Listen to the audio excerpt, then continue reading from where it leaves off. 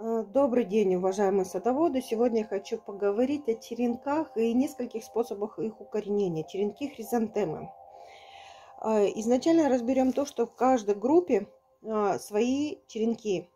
Если это взять вот серию мини компактных хризантем, у них высота до 25 сантиметров, и череночки все очень маленькие, хрупкие, тоненькие бэбики или ампеля, тоже очень маленькие череночки. Сейчас это довольно-таки длинные из-за того, что весна, солнце, недостаток солнца, и они немножко вытянулись. Но летом это сантиметров может быть 4-5 череночки, не больше. А, крупноцветковые хризантемы.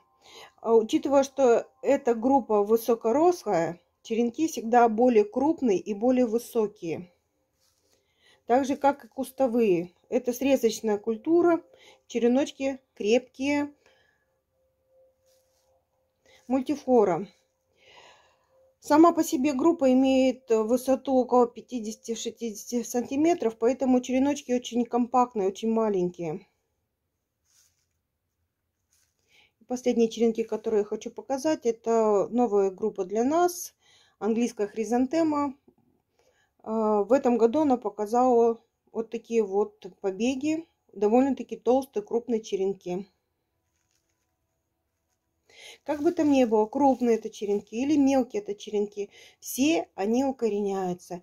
И к осени вырастает полноценное цветущее растение. Из такого маленького череночка будет шар.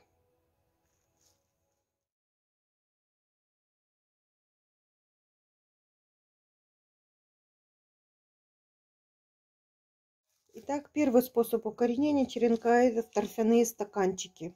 Довольно-таки сейчас распространенный способ высаживать рассаду. Вот такие вот стаканчики.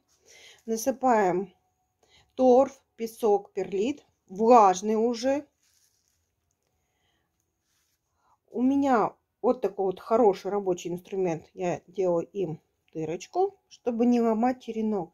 Черенки все-таки весной очень хрупкие обмакаем корневин. Если вы другим укоренителем пользуетесь, ради бога, это ваш выбор. Вставляем дырочку, немножко придавливаем. Все, черенок стоит. Ставим тепличку, прыскаем. А, преимущество то, что вы не травмируя корневую, сразу со стаканчиком высаживаете в грунт, и он в дальнейшем развивается и растет в почве.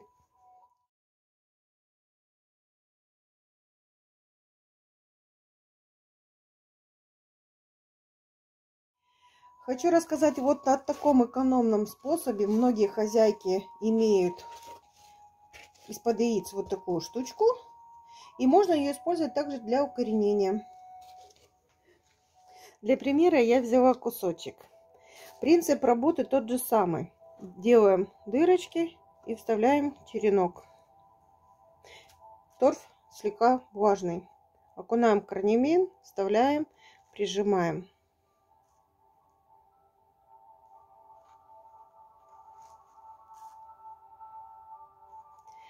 Это способ, э, есть люди, которые не хотят затраты какие-то на кассетницы, стаканчики или еще что-то. Когда есть дома вот такая вот штучка, почему бы нет? Еще один вариант, это вот из-под конфет, из-под пирожных, из маленькие тортики. А, есть упаковка, остается упаковка. Почему бы ее не использовать тоже для черенкования? Все черенки укореняются практически по одному и тому же принципу. Эти очень хрупкие. Это ампеля. Поэтому по-любому надо делать им дырочку для того, чтобы поставить. И, конечно, чтобы зафиксировать положение в земле, мы немножко поправляем и придавливаем. Не смотрите то, что они такие маленькие. Как только они укоренятся, они пойдут в рост. Ну а к осени, конечно, будет результат уже. Бирочки ставим обязательно, ставим бирочки, подписываем, какие сорта.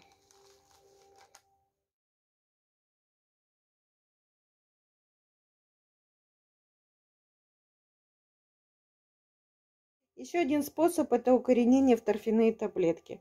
Тоже очень удобный. плане того, что тоже не травмируется корневая. Зачеренковали, укоренили и высадили прямо в таблеточки. Что большая таблетка? Тут, тут есть выемка, но мы все равно ее расширяем. Потому что, чтобы черенок прям стал, сама по себе таблетка очень плотная. И можно легко поломать, просто черенок вставляю туда. Также фиксируем. А, я, можно таблетки поставить в кассетницу. А можно поставить их в стаканчики.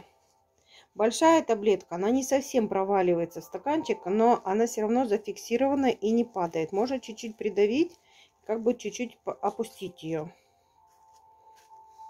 Маленькая таблетка, но это не совсем маленькая, средняя таблетка, она полностью уходит в стаканчик. И черенок как бы получается глубоко сидит.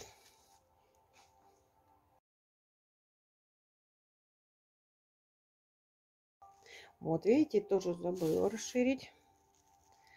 Надо обязательно дырочку чуть-чуть расширить.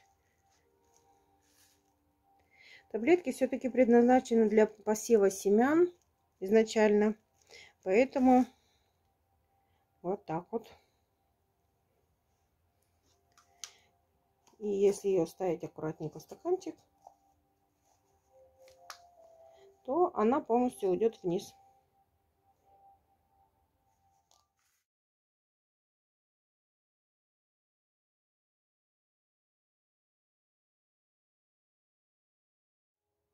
Самый экономный способ укоренения черенков вот такие вот э, чепхашки. Э, в плане того, что торфяные таблетки, э, кассетницы, стаканчики, они занимают много места. Если вы будете использовать э, мини-теплички, там тоже их много не поставишь. А, в данную тару можно поставить до 12 черенков. Когда они уже дадут корешочки небольшие, уже можно перевалить их на стаканчики и в дальнейшем доращивать. Первый этап, когда черенки должны дать корешки, адаптироваться а, именно вот таких вот чеплашках. Но опять-таки э, это для тех, кто выращивает, ну, немножко хризантемы для себя. Штучек там по 5, по 6 а, но не массово. Все варианты, которые я сейчас показываю, это чисто любительские.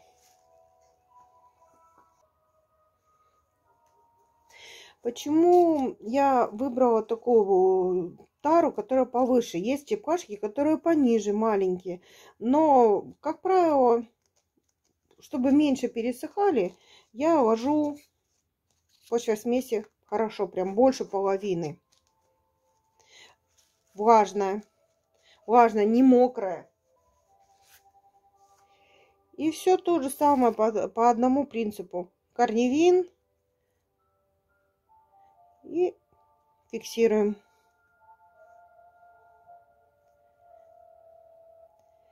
В данной процедуре, наверное, вот именно аккуратность, потому что черенки в это время очень хрупкие. И можно вставлять в землю, даже если она будет очень рыхлая и очень мягкая, все равно его можно поломать.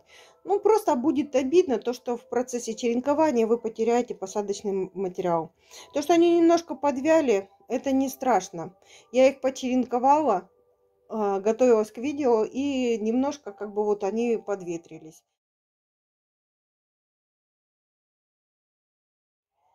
Еще один способ укоренения черенков хризантемы – это перлит.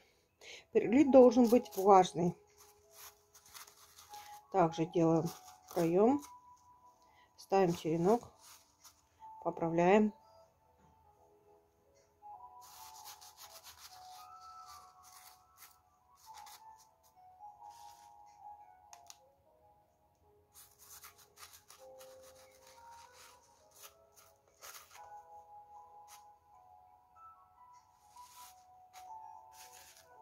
Бирочка. Все, ставим в тепличку. Сейчас они, я покажу вам, как я составлю все это в контейнер. В процессе, что из этого получится, как они укоренятся, в какой форме, какие черенки будут.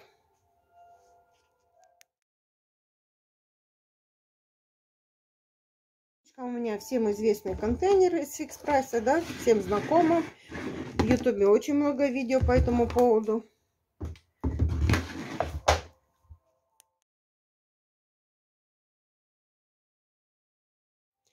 Если вы считаете, что такого контейнера для вас много, можно использовать вот такие вот одноразовая посуда, контейнера.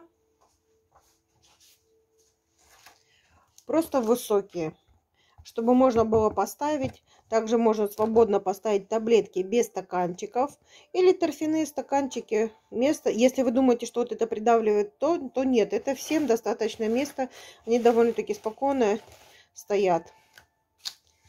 Пропрыскивайте еще раз. Желательно, ну я бы так посоветовала, все-таки обработать фунгицидом от корневой гнили. И закрываете.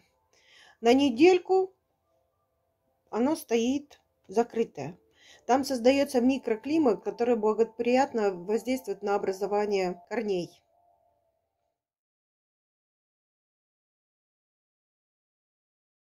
Вот такой контейнер у меня получился. Конечно, я вам покажу, что будет от, э, из этого выйдет через неделю, две недели. Посмотрим, кто как укоренится, какие корешки при каком способе лучше будут развиваться. Я не говорю, что вы должны черенковать только так и никак не иначе. Я просто показала несколько способов, как можно черенковать. Но у каждого садовода может быть, где-то схоже, конечно, но все-таки свои секреты и свои навыки в черенковании. Все, всем успехов!